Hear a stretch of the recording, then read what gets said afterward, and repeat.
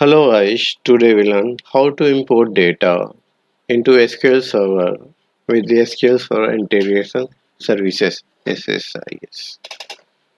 For this we have require SQL Server Data Tools for Visual Studio 2015 or SQL Server Data Tools or Visual Studio 2019. Here we know our source is SQL Server and destination is also SQL Server let us see this figure to understand.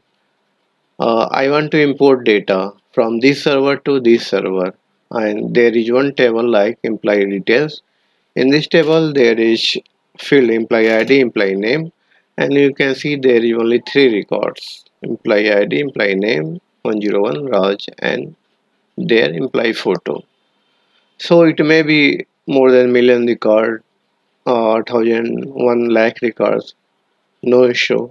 Now let us see with real example with Visual Studio SQL data tools.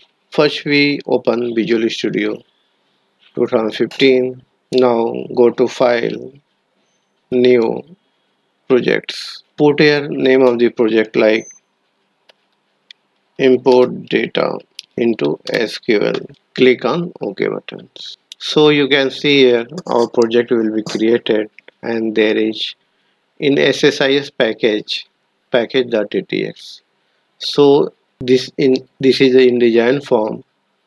Now I want to transfer data from one source server to another server and both server is SQL server. Let us see. You can see there is no data flow. First we go to on control flow. Now put data flow tasks click on data flow tag and you need to put here source and destination and configure it. Let us see other source.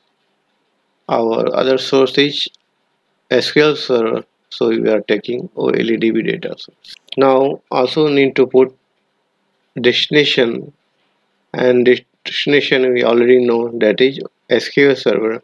So also it will take we will take it OLEDB destination. So our source and destination will be there you can see in the design. Now need to configure it.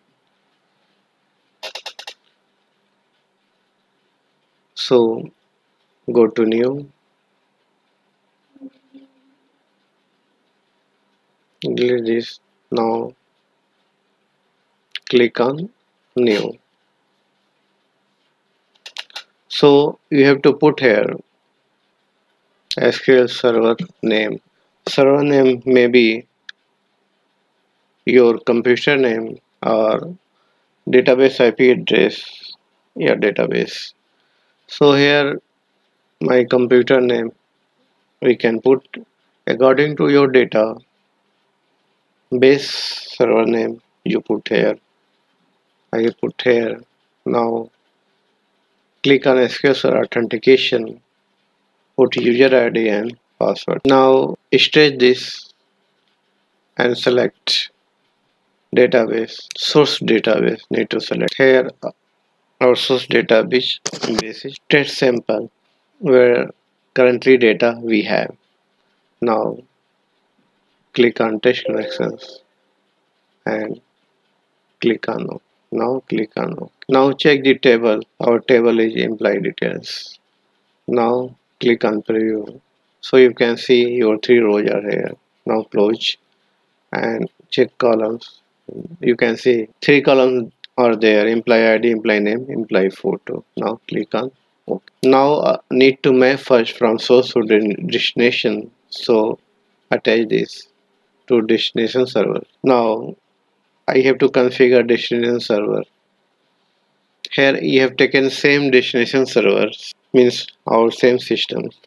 You can put here your click here put server name SQL server. Here you can put the destination server name. Where do you want to push the data? Put a username and password stretch this window to see and our destination server is server. Same but database will be different. So test sample click on test connections and click on ok.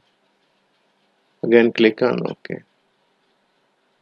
And choose where your data want to send import click on this and see.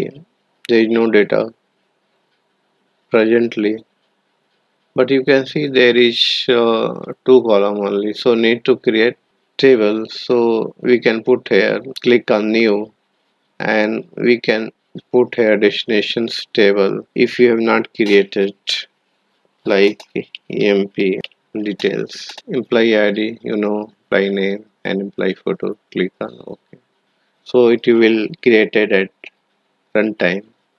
Now you can see there is also need to map the columns on mapping page. So go to mapping. So our input and destination column. So these are mapped now and click on ok. So you can see our source and destination will be configured with database server now need to check through the running of the application whether data will be transferred or not.